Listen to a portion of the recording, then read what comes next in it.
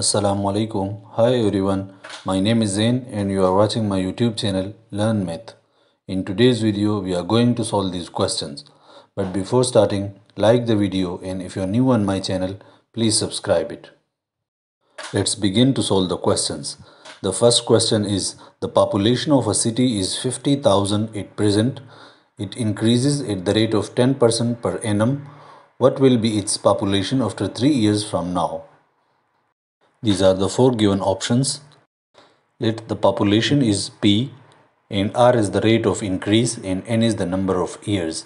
First we are going to derive a formula for this problem. Population after one year will be population plus R percent of the population. We will take P common and we can write it P into 1 plus R divided by 100. This will be the population with increase after one year population after 2 years we will take this population p into 1 plus r divided by 100 we will take this population in plus r percent of this population. This will be the population after 2 years with increase. In this term you can take p into 1 plus r divided by 100 common and we will get this now p into 1 plus r divided by 100 into 1 plus r divided by 100 can be written as p into 1 plus r divided by 100 whole square. After 3 years it will be p into 1 plus r divided by 100 whole cube and after n years it will be p into 1 plus r divided by 100 whole power n. This will be the population with increase after n years. Now we will use this formula to solve our question. In our question p is 50,000 R is uh, 10 and N is 3 because we have to find the population after 3 years. We will put values in this, simplify this 10 divided by 100 so it will be 1 by 10 and take LCM we will get this simplify the cube and we will get this Simplify again and we will get 66,550 and option D is the required answer. Now the second question is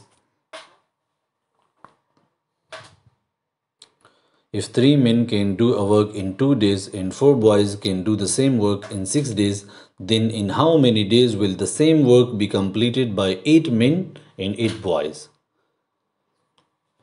These are the four options. Let the amount of work is equal to 1. 3 men can do the work in 2 days so we can write 3 men can do in 2 days is equal to 1 because 1 is the amount of the work. Now 3 men can do in 1 day half of the work. So dividing by 3 1 man can do in 1 day half divided by 3 and that is 1 by 6 of the work multiplying both sides by 8 and we can get 8 men can do in one day is equal to 8 into 1 by 6 that is equal to 4 by 3 of the work. Now 4 boys can do in one day is equal to 1 by 6 of the work because they can finish the work in 6 days. So in one day they will finish 1 by 6 of the work. Now one boy can do in one day 1 by 6 divided by 4 that is 1 over 24 of the work multiplying by 8 both sides. So we will get 8 boys can do in one day is equal to 1 by 3 of the work. Now we will add these 8 men and 8 boys can do in one day. So we will add 4 by 3 plus 1 by 3 and we will get 5 by 3 of the work.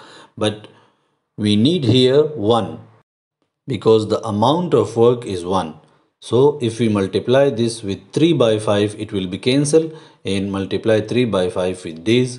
So 8 men and 8 boys can do the work in 3 by 5 days. And the correct answer is option B. The third question is how much will be the average of squares of natural numbers from 1 to 35? These are the four options. We know that sum of squares of first n natural numbers is n into n plus 1 into 2n plus 1 divided by 6. So first we will find the sum. Put n is equal to 35 and we will get this. is we know that average is equal to sum of the squares of all numbers divided by n.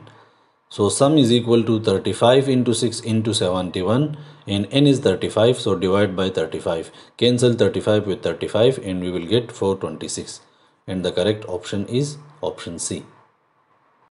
The fourth question is the ratio of numbers of girls and boys participating in sports of a school is 4 ratio 5. If the number of girls is 212, determine the number of boys participating in the sports. These are the four options. So, girls ratio boys that is 4 ratio 5 and girls are 212 and let the boys is x multiply 4 with x and 212 with 5 we will get this. Dividing both sides by 4 we will get this. Simplify this and we will get x is equal to 265 and the correct option is option B. The fifth question is an integer is 10 more than its one third part. So the integer is these are the four options. Let the integer is equal to x. And one third of the integer is 1 by 3 of x. The integer is 10 more so we will add 10 to the one third and both will be same. So x is equal to one third of x plus 10. Simplify this and we will get this. Take x common we will get this. Take LCM and we will get this.